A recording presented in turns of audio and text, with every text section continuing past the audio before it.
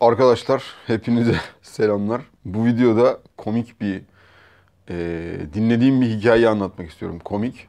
Arkadaşlar çalıştığım iş yerinden birinde köylü bir adamın anlattığı hikayeyi sizlere deşifre etmek istiyorum. Arkadaşlar köylüler dünyada yapılan istatistiklerde yüzde 70'e yakın köy yerinde yaşayan insanlar la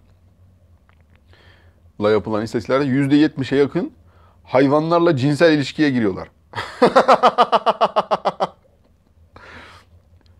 İstatistik. İstatistik bu. Anlatabiliyor muyum? Lütfen. İstatistik, bilim, biraz saygı. Yani bunların ben büyük çoğunluğunun umut ediyorum ki çoğunluğu erkektir. Hani erkeklerle ilgili böyle zaten bir sürü atasözü var. Bilmem ne var. Zart var, zurt var. Atını siken kovboydan tut. Anladın mı? İşte bizim dedelerimizin söylediği işte hani bir kişi çok menfaatçi ise o sikmeyeceği eşeğin önüne ot atmaz gibi. Milletin dedesi Platon olur. işte Schopenhauer olur. Böyle bir şeyler söyler hayatla ilgili, evrenle ilgili bizim dedemizin de söylediği söz bu. Hani o sikmeyeceği eşeğin önüne ot atmaz. Herkes böyle şey yapıyor. Hmm, evet. Şimdi daha iyi anladım evrenin. Anıyı anlatıyorum. Adamın anısını anlatıyorum. Ee, adam köylü olduğu için 10 yaşında filan. Bir akşam gece vardiyasında çalışıyorum. O zaman normal uçak tamircisiyim ben tamam mı? Neyse kahve mavi içiyoruz. O muhabbet de böyle şeydir yani. Gece hani molada ya da ne bileyim hani sigara migara içerken falan.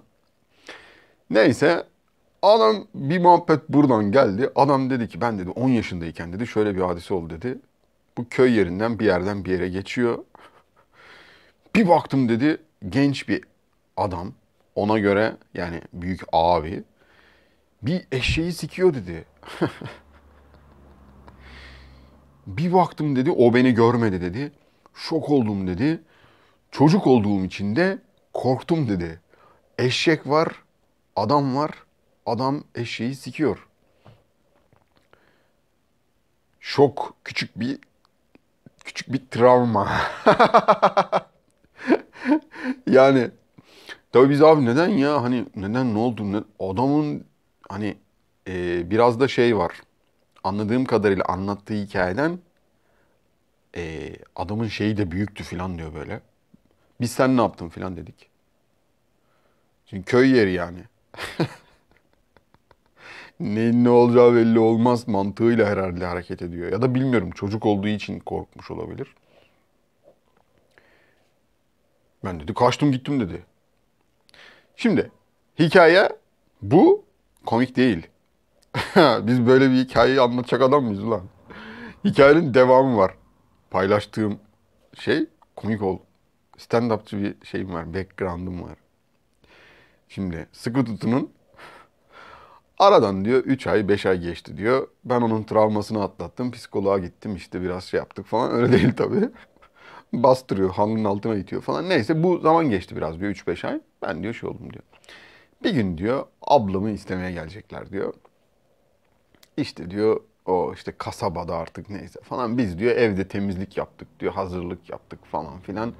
Herkes çok iyi insan, herkes böyle anladın mı? Saygı, sevgi, temiz ev falan filan. O moda geçtik diyor. Ding dong kapı çaldı diyor. Ben diyor evin çocuğu olarak diyor. Kapıyı ben açtım diyor. Ablamı vereceğiz filan diyor.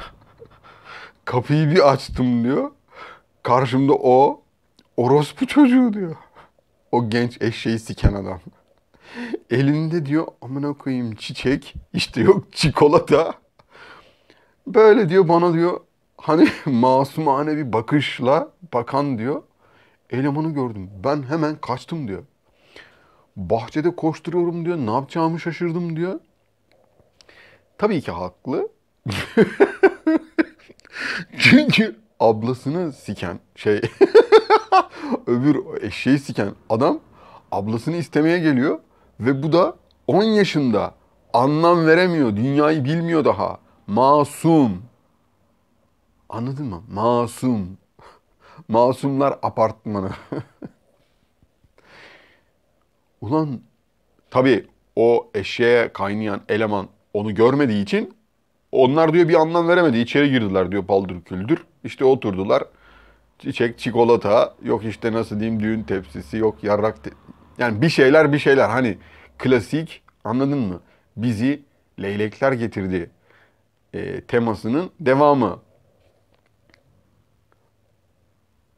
Biz tabii o esnada ben tabii arkadaşlar yerde yatıyorum yani. Yerde yuvarlan yuvarlanıyorum yani bu hikaye dinlerken.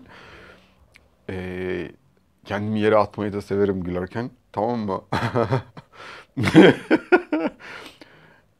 Ee, adam devam ediyor. Köylü bir de. Çekinmiyor. Köylülerin bu şeyini seviyorum. Ablamı verdik diyor. çıtadı çıtadı.